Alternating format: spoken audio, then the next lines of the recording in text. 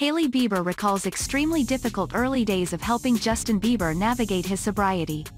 When Hailey Bieber entered Justin Bieber's life, he made the choice to overcome his addictions, and she was there to support him.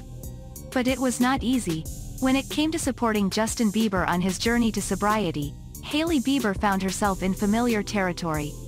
In the 2020 YouTube docuseries Justin Bieber Seasons, the pop star spoke candidly about overcoming battles with addiction to marijuana, alcohol, psychedelic mushrooms, pills and other drugs, saying they'd been an escape for him. Hailey is the daughter of actor Stephen Baldwin, who once struggled with a cocaine addiction. On a November 10th episode of the VS Voices podcast, the Victoria's Secret model said her experience growing up with her father amid his substance abuse battle helped her prepare to support Justin with his.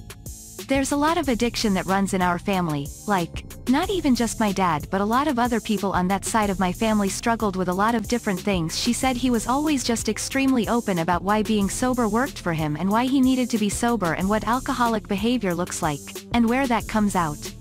She continued looking back on times of drug use and being in some dark spaces and having to kind of go back there and talk about it was extremely difficult. I was never somebody who struggled with any substances, but that's because I was so aware of it because of my dad.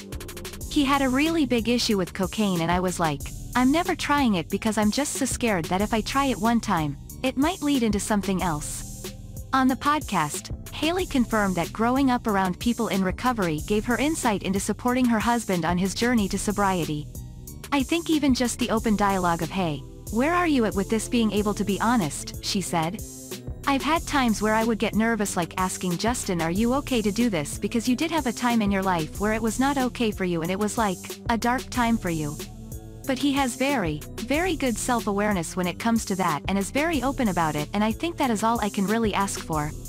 On his docu-series, Justin recalled that he decided to stop abusing substances because he felt like I was dying.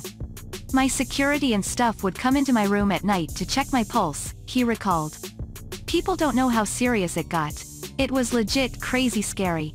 I was waking up in the morning and the first thing I was doing was popping pills and smoking a blunt and starting my day.